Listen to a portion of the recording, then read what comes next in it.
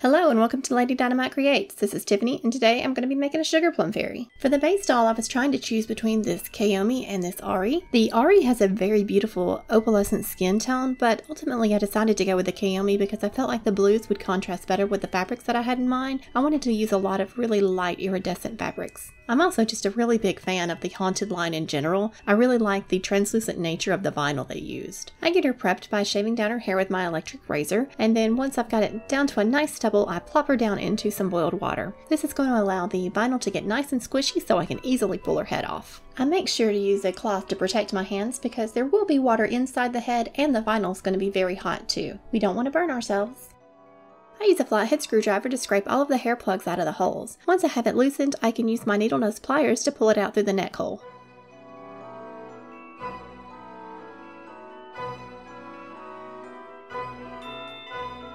With 100% acetone, I can remove all of the factory paint. The sculpting on this Kiyomi is just absolutely gorgeous. I've never worked with one before. She was the only one I have, and I'm definitely going to have to invest in some more. To get her prepped for reroot, I first paint her scalp with a coat of pink acrylic paint. This way, if there is any gaps or thin areas, it won't be as obvious because it'll be pink to match her hair. For her hair, I'm going to be rerooting her with this fluffy pink from the Doll Planet. This is from their fluffy line, and so you don't need as much of it to reroot in Monster High Head. It is very fluffy, so you don't have to fill in all of the holes like you do with a regular nylon hair reroot. I actually still had plenty of this left over after the reroot was done. I wrap the hair around my finger and then slide it onto the reroot tool. and then plunge this down into the pre-existing holes. I first reroot along the front hairline and the part line, and I'm making sure to go in every single one of these holes. Once I get to the other side of the part line, I'm going down into the exact same holes, only I'm pulling the hair in the opposite direction. I then fill in the remainder of the hair, only filling in about every other hole, and then I secure the hair with some liquid fusion glue. I swirl that around with a q-tip, making sure to touch all the plugs. I did want to say thank you so much for all of your comments and likes on the videos throughout the year because it really does help with the YouTube algorithms. I do read every single comment you guys leave me. I just love hearing from you guys, and I will always try to reply to you. I've made a pattern for her dress, and the first thing I tackle is I sew the darts on the front and the front lining. I trim the excess and then seal the edges with some fray check.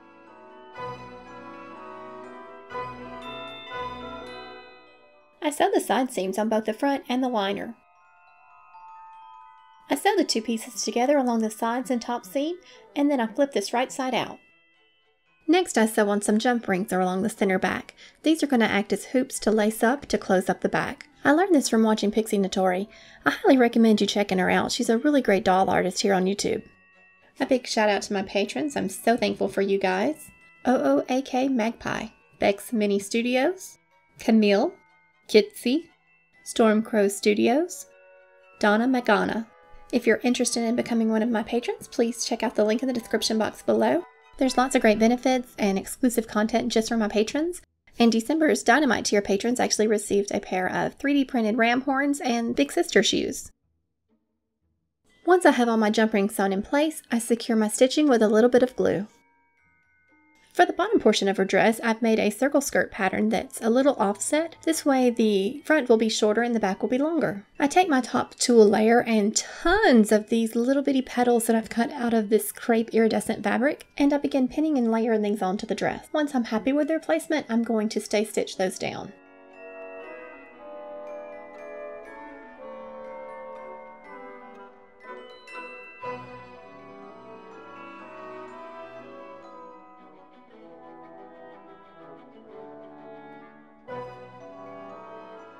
I sew all four of my skirt pieces to the bodice. I use ribbon to secure the inside seam of the skirts. I take and apply a bit of fabric fusion glue, then I am heat sealing the ribbon in place. This is going to help prevent all of those little petals from coming loose and fraying out of the seam.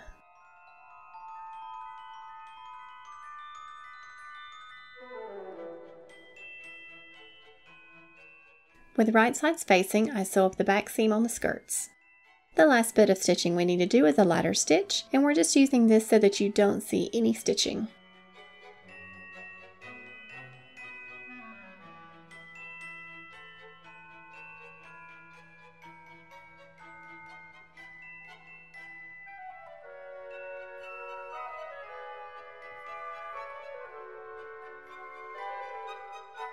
Of course, this dress is not complete without some rhinestones, so I use my Gem Tac glue and I'm dotting that on with the tip of a toothpick, and then I'm applying rhinestones all over the dress.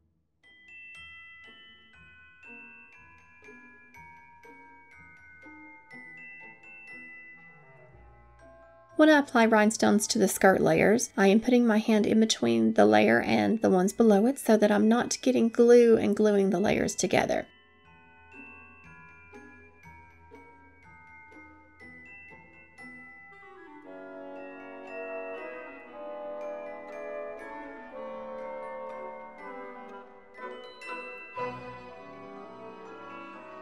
For her shoes, I decided to use a pair of my witch shoes, which had been a misprint. I try not to throw these out because I always figure I can use them for a project down the road, and this one turned out to be the perfect one. I felt like she didn't need to have actual heels on, so since the heels were already broken, I just went ahead and clipped them off completely, and with a little bit of sanding, they're ready for painting.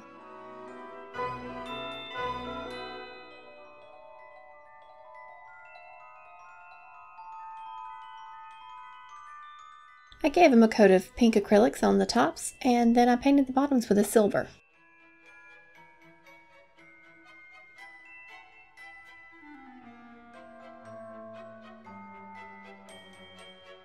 Once the shoes are completely painted, I give them a coat of Mod Podge on the pink areas. I then liberally coat them with glitter. Yeah, after this project, there was glitter everywhere in my house. It was totally worth it though because these shoes came out so cute. It just looks like little sugar all over her shoes or something. So freaking cute! For her headdress, I'm going to be creating a base out of Worbla first, and I've cut out two pieces. One's going to function as the headband, and one is going to function as a fanning area so that I can have something to glue all of the little candy pieces up against. I'm using my heat gun to heat up the Worbla. This makes it pliable once again, so when I shape it into a shape and it cools down, it'll hold that shape. The heating also activates the glue on the Worbla, so when you stick two pieces together, they stay stuck together once they've cooled off. I was really inspired by Miss G Designs on Instagram. I'd seen some of her crowns in the past, and when I saw her rendition of the Sugar Plum Fairy, I knew I had to make one of my own, so that's what got this whole process started. I started out with a much taller fan base, but I quickly realized that was going to be just a little bit too tall, so I did cut this down. Once I'm happy with the shape, I prime it with some white paint. I do plan for most of this base to be covered, but if there are any areas poking through, I want it to be very pretty. So I'm painting it in pastel rainbow colors and then coating it in that same glitter that I used on her shoes. To decorate the crown, I did buy a lot of deco charms off of Amazon. However, the pack that I bought didn't have very many really small ones, so I am going to be making a few out of epoxy sculpt. I make some gumdrops and macarons, little swirls of whipped cream with cherries, some sugar cookies, and I even made some scoops of ice cream too, but I wound up not using those.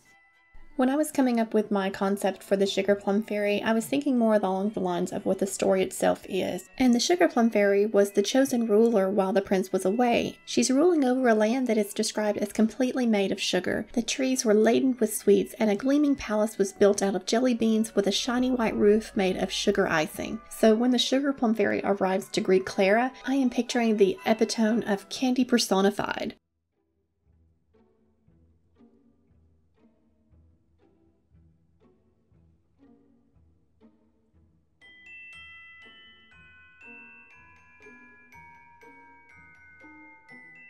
After all the little sculpted bits have cured for 24 hours, I get them painted and coated in glitter too. Now on to decorating. There was no rhyme or reason to this. I had no plan going in. I just started sticking stuff on and seeing if I liked the layout. And here you can see me just holding up different things, seeing how they looked. And this continued throughout the whole creation of the headdress. I really love all the deco charms that I was able to get on Amazon. I will leave a link in the description box below if you wanted to check it out. But all the little suckers and the gummy bears and the little sour candies were adorable. And you can see the fiddling continued all the way up to the very end. I just, I really wanted to make it perfect. And of course, every fairy needs their wings. I've sketched out a wing design here on some paper and I've cut some wire to length. I'm using a thicker gauge wire on the top and then a thinner for the following veins. I shape out each wire and make sure that it lines up with my sketch. Once all of my wires have been shaped, I tape down a piece of Angelina film over top my sketch. I apply some Gem Tac glue to the back side of the wire and I very carefully place this down onto the Angelina film. I hold it down for a few seconds to make sure that the glue is adhered really well to the Angelina film.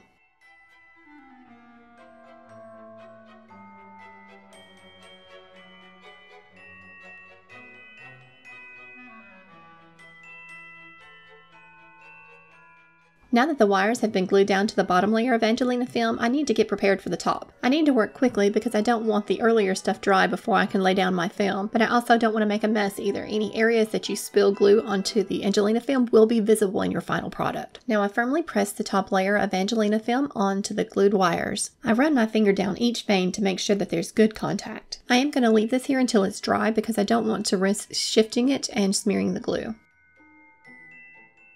Now that the glue's dry, I give my wings a trim, and I'm getting them trimmed very close to the shape that I want because when we sear the ends later with a lighter, if there's too much bulk there that you're trying to shape, it's going to just bubble up and leave a big bulge of plastic. I sandwich my wing between two layers of parchment paper, then I take my flat iron and I quickly run it across the wing. This causes the two layers of Angelina film to fuse to one another, but we don't want to leave it too long because it can melt them completely. I give it its final shaping with my lighter and I'm just taking the flame and not directly touching the Angelina film with it, but I'm getting it very close to the side and this is just causing the Angelina film to melt up towards the wire. I have had people ask me how I'm able to get my wings so smooth, and I am not sure, and I think it may just depend on the brand of Angelina film you're working with. Um, I'll leave a link in the description box, the brand that I use if you're interested in trying it. I actually did some experimenting trying to make mine crinkle and just never could get those same results.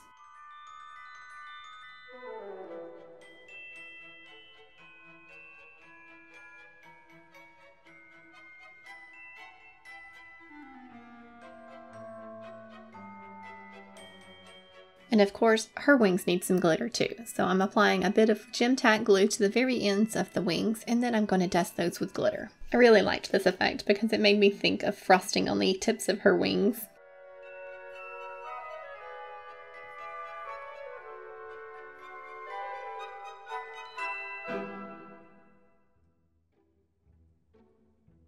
Now to get the wings ready for their attachments. I'm taking the wire at the end and using my round nose pliers to form a tapered cone. This is going to allow an area for the magnet to rest.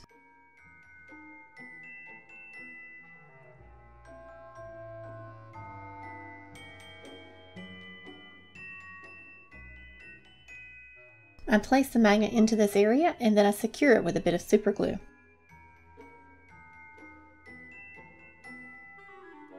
For the corresponding magnets on the back, I take and I've marked two spots on the back of the doll's body. I'm taking my Dremel tool and then I'm carving out two circles for those. I'm making sure to check movement on the doll's arm constantly because I don't want to damage that mechanism. I test the fit on the magnets and I also take the time to mark which side goes in which and which side is facing up. We don't want to glue these in backwards. And finally, I'm ready to glue these magnets in place, and I'm just using a bit of super glue for the initial fit. I try to glue the magnets in. Oh my gosh, just work. Now that the magnets are glued down, I'm going to secure them a little bit more with some epoxy sculpt right around the edges. Just as a side note, I did have to glue these in one at a time and make sure that the super glue was held before I could move on to the next magnet. I use a bit more epoxy sculpt to make a prettier transition between the wings and their magnet attachments as well. I eventually paint these and coat them with some mica powder. Now on to the face up. Here's all of the colors that I use, lots of pinks, blues, and purples, and lots of shimmery mica powder, perfect for a sugar plum fairy. I've wrapped her hair up in a cloth to protect it, and I've also given her two coats of Mr. Super Clear in preparation for the face up. The Mr. Super Clear gives the vinyl a paper-like texture that allows the watercolor pencils and the pastels to adhere to the surface of the vinyl.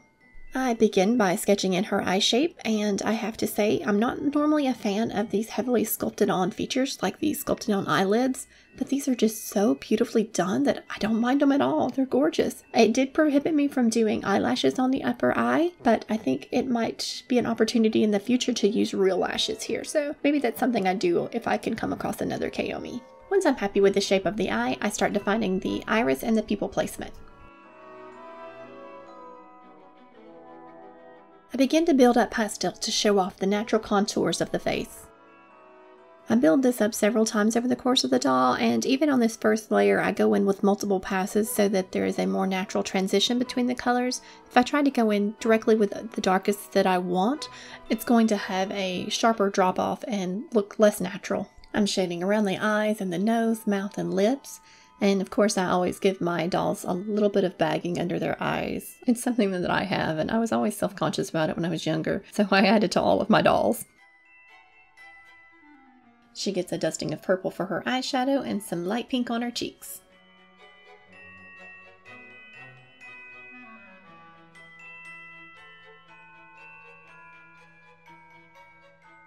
I dust her lips with a bubblegum pink shade of pastel, then I go crazy with the mica powder. I'm going to apply this on every single layer because the MSC really knocks it back so you don't see as much of it in the end result. I'm using shades of pink on the cheeks and then on the rest of the face I'm using this shimmery opalescent color that has a blue shift. And of course I was just so excited to put on the mica powder I forgot that I was not done so I am having to add in the other things to this layer that I still needed to do.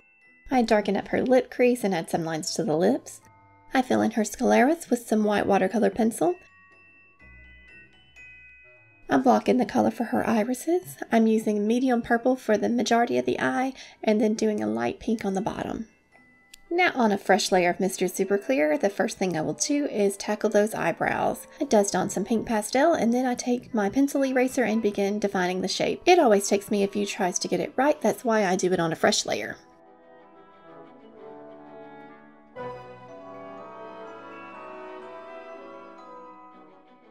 Felt like that the eyes didn't have enough contrast to them, so I decided to add in a deeper purple as well.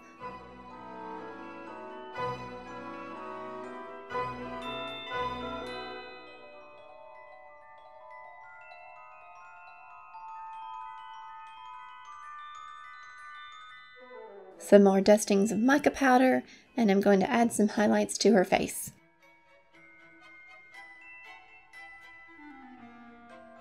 With a black watercolor pencil, I began darkening up her lash line. This helped the eyes to really pop. I felt like they were starting to get a little lost in the face up, and doing this made them a lot more striking.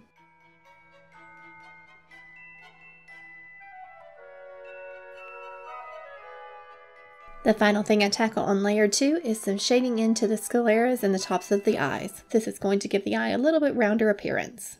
On layer 3 I take my pink watercolor pencil and this is just a shade that's slightly darker than the shading of the pastel and I begin adding in individual hairs to her eyebrows. I'm adding in some visual interest to the eyes using a pink, a white, and a dark purple watercolor pencil.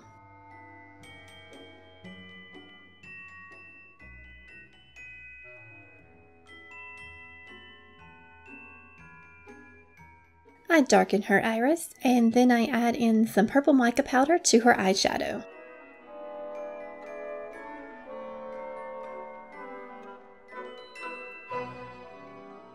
Using a super sharp black watercolor pencil, I begin adding in her lower lashes. I'm just doing quick light flicks to get those wispy lashes. I find the best way to get a really sharp point on my pencils is to first sharpen it with a pencil sharpener and then rub it across a piece of sanding paper. This gets it to a nice fine point. Once I have my lashes drawn, I go back with my black Derwent Inktense pencil and I'm going to do a pass right around the base of the eyelashes. This is just going to give it a nice full thick look. I do one more pass of mica powder before sealing for the final layer. On layer 4, I'm adding in all of the highlights to her waterline and her catch lights. And with that, her face up's done.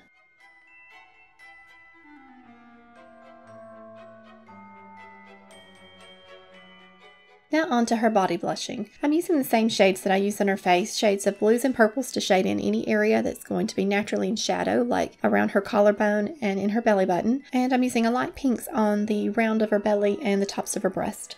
I'm so sorry my video isn't released on Friday like it normally is. Uh, she actually wasn't intended to be ready for Christmas. I kind of fell behind schedule. She actually wasn't going to be out until after the first of the year because I had holiday plans to travel back home. So you get her before the end of the year because we decided not to travel.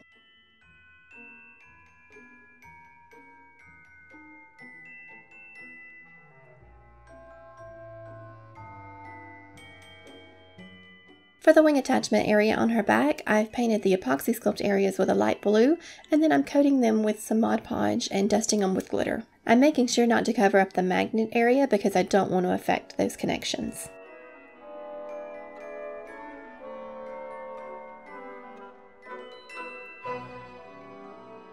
Now for some hairstyling. I've stuck her onto my styling stand and I'm taking out small sections and I am wrapping these around my foam curlers. I'm using a couple of different sizes so that I have some variety in her curls. Once I have all of the hair set in her curlers, I'm going to put her in this bucket and I'm going to be pouring some cold water on her. This hair in particular says no heat whatsoever, so I can't boil wash this. I'm just going to be covering it in cold water and then leaving it to dry overnight. Now that her hair is fully dried, I begin removing the curlers. This hair curled a lot better than I was expecting to, especially considering there was no hot water to set it. With them removed, I'm going to give these curls a fluff and I just pop her off the stand and whip her hair around like crazy. This is just separating out a few of the strands and I want it nice and fluffy. I separate some of the curls out by hand, just making sure I get a nice full effect.